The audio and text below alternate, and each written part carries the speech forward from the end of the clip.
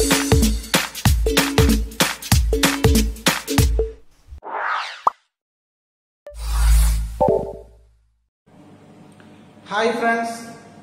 saint Thomas I T ഐയുടെ YouTube ചാനലിലോട്ട് എല്ലാവർക്കും സ്വാഗതം.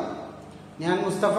ഇന്ന് എടുക്കാൻ പോകുന്ന സബ്ജക്ട് എഞ്ചിനീയറിംഗ് ഡ്രോയിങ് ആണ്. അപ്പൊ നമ്മൾ കഴിഞ്ഞ ക്ലാസ്സുകളിൽ ഇൻസ്ട്രുമെന്റ്സിനെ കുറിച്ചാണ് പഠിച്ചുകൊണ്ടിരിക്കുന്നത്. കഴിഞ്ഞ ക്ലാസ്സുകളിൽ കുറച്ച് ഇൻസ്ട്രുമെന്റ്സ് പരിചയപ്പെട്ടിരുന്നു. അതിൽ നമ്മൾ സ്കെയിലിനെ കുറിച്ച് പറഞ്ഞു. അപ്പൊ ഇന്ന് നമ്മൾ ചർച്ച ചെയ്യാൻ പോകുന്നത് സ്കെയിലിനെ കുറിച്ച് ഒരു ചെറിയ നോട്ടും അതുപോലെ തന്നെ എങ്ങനെ ഒരു സ്കെയിൽ വരയ്ക്കാം. നിങ്ങൾക്ക് എക്സാമിന് ചോദിച്ചു കഴിഞ്ഞാൽ ടൂൾസ് ആയിട്ടാണ് നിങ്ങൾ വരയ്ക്കേണ്ടത്. അല്ലാതെ സാധാ സ്കെയിലല്ല വരയ്ക്കേണ്ടത്. അധികം നിങ്ങൾക്ക് ചോദിക്കുക സ്റ്റീൽ റൂൾ വരയ്ക്കാനാണ്. സ്റ്റീൽ റൂൾ ആണ് നമ്മൾ അധികം മെഷീനും വർക്ക്ഷോപ്പിലൊക്കെ ഉപയോഗിക്കുക. അപ്പൊ സ്റ്റീൽ റൂൾ എങ്ങനെയാണ് വരയ്ക്കേണ്ടത് സ്റ്റീൽ റൂൾ എങ്ങനെയാണ് വരയ്ക്കേണ്ടത് എന്നും നോട്ടുമാണ് ഈ ഇന്നത്തെ ടോപ്പിക് അപ്പൊ നമുക്ക് നേരെ ക്ലാസ്സിലോട്ട് കടക്കാം. Scales made of transparent celluloid or wood or steel അഥവാ സ്കെയിൽ ഉണ്ടാക്കിയിരിക്കുന്നത് ട്രാൻസ്പെറന്റ് സെല്ലുലോയിഡ് അഥവാ സുതാര്യമായ സെല്ലുലോയിഡും പിന്നെ മരത്തിന്റെയും സ്റ്റീലിന്റെയും അതാണ് സ്റ്റീൽ റോൾ ട്രാൻസ്പെറന്റ് സെല്ലുലോയിഡ് നമ്മൾ മെയിനായിട്ട് ഉപയോഗിക്കുന്നത്. Use to measure and transfer the measurement ഉപയോഗം.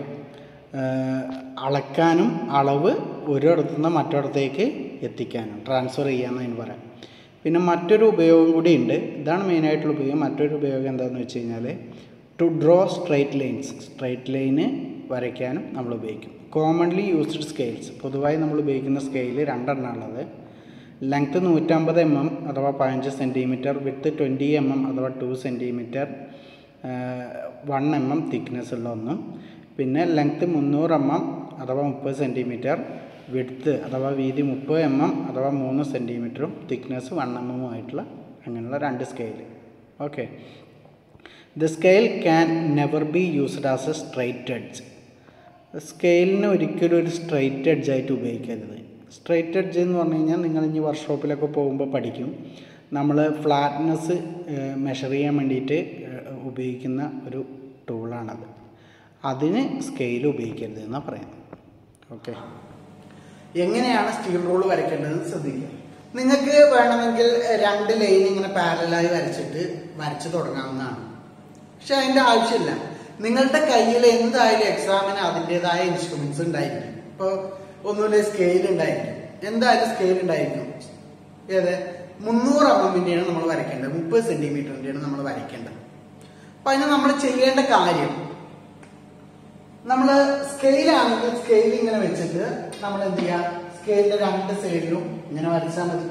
അപ്പൊ കറക്റ്റ് പാരലായിരിക്കും അല്ലെങ്കിൽ നിങ്ങളുടെ ഇഷ്ടത്തിന് രണ്ട് ലൈന് കറക്റ്റ് പാരലായിട്ട് വരയ്ക്കാം. ഇങ്ങനെയും വരയ്ക്കാം.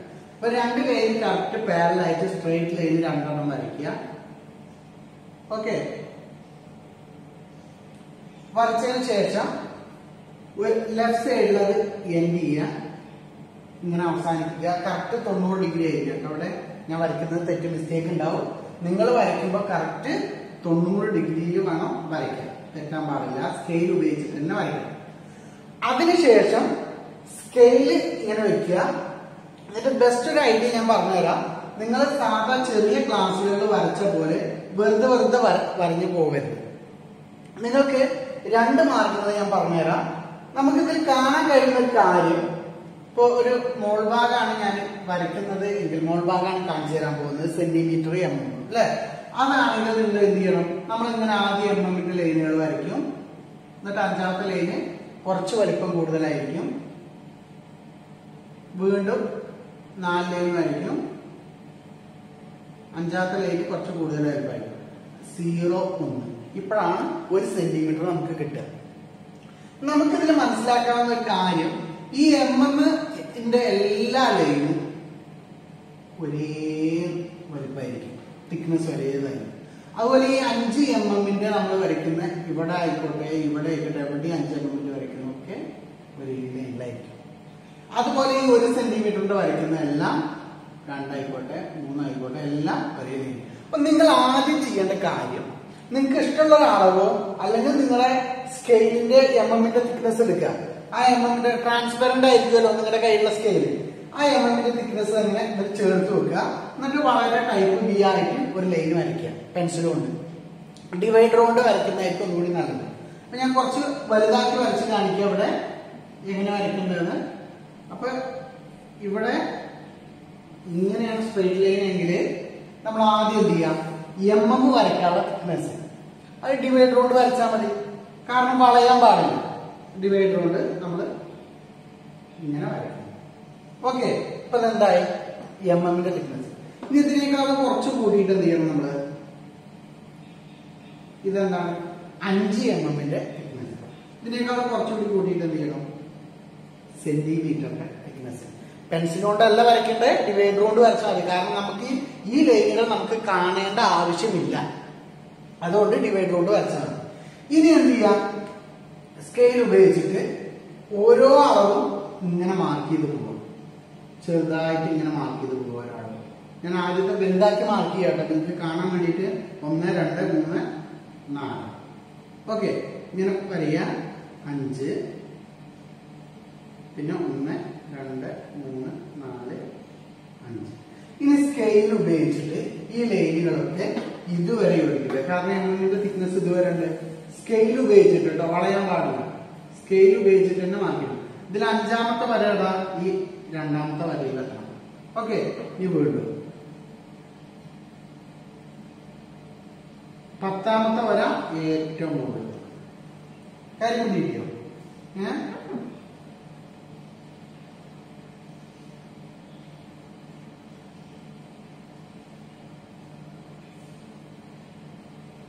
ഓക്കെ ഇങ്ങനെ വരും. അപ്പോ സീറോ വൺ എന്ന് കിട്ടും.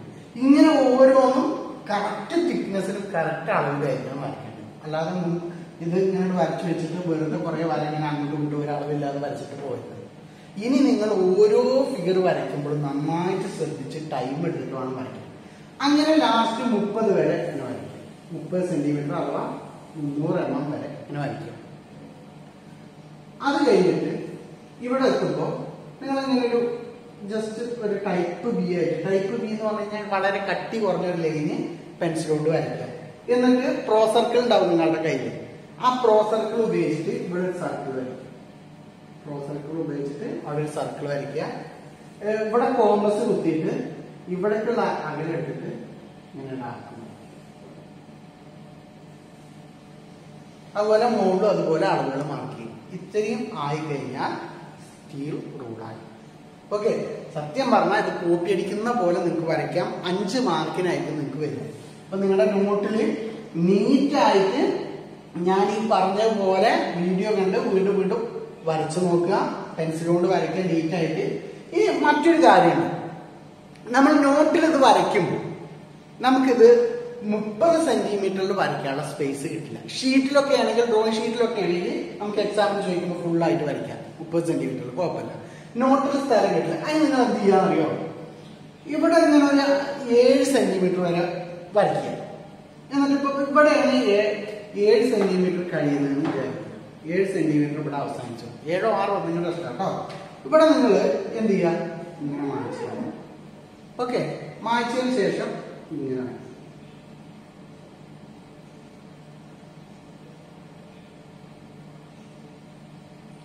ഇതെന്തിനാന്ന് മനസ്സിലായോ?